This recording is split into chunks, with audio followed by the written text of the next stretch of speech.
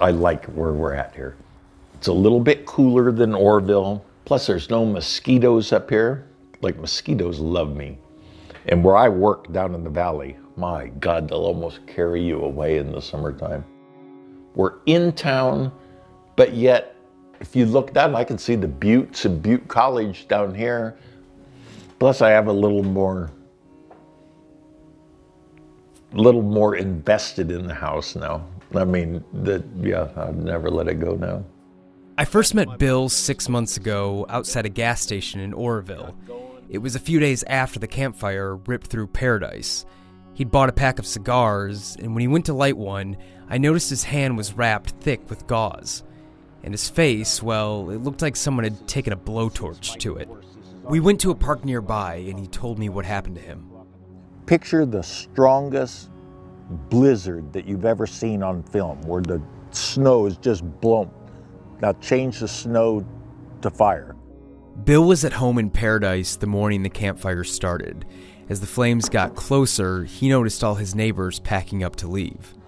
And I got my fiance and my dog out of there. And then at 10 o'clock is when it was this is it. You're either going to do it or get the hell out of here. Here's the view in back of my house. There's my neighbor's house over there. There's another neighbor's house there. And I decided to do it. I'm going to give it everything I got. I'm going to save my house, whatever it takes.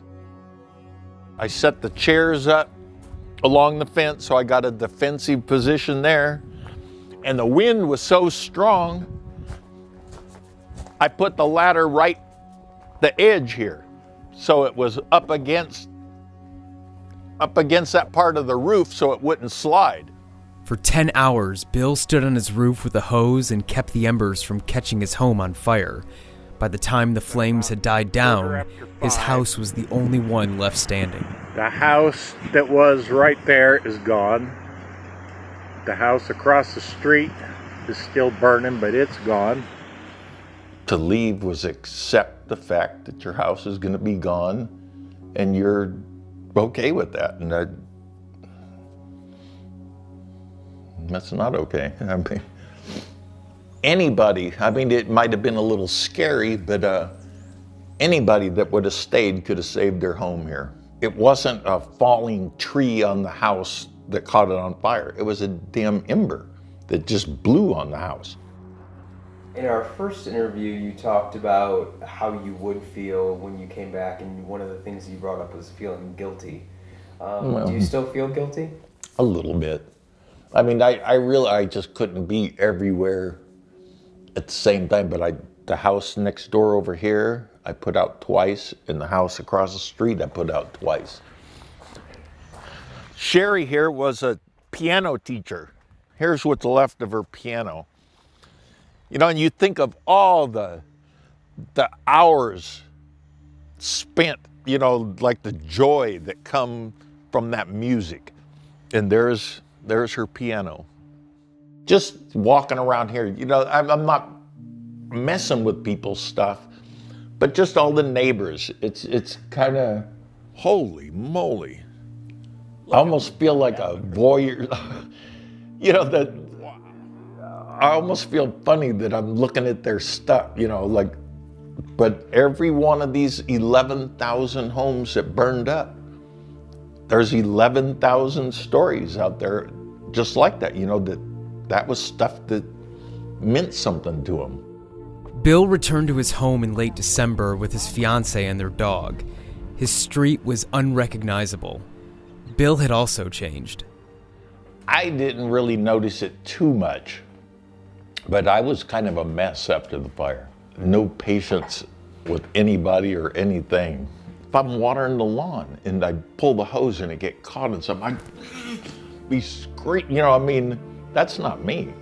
He's not sure if what he's suffering from is post traumatic stress, but whatever it is, he says it's getting better, that it's almost like a fading bad dream. I mean, I don't have dreams about it, but thinking about it, there was just so much happening so fast. The dogs are the main thing. I mean, I, am an animal lover, and that that last look at the dog, I can't get that out of my head. The dogs were his neighbors. Bill couldn't unlatch the metal cage they were in and had to watch them burn alive. I should have known that they were there. I should have went over there. But I mean, there was just so much happening so fast.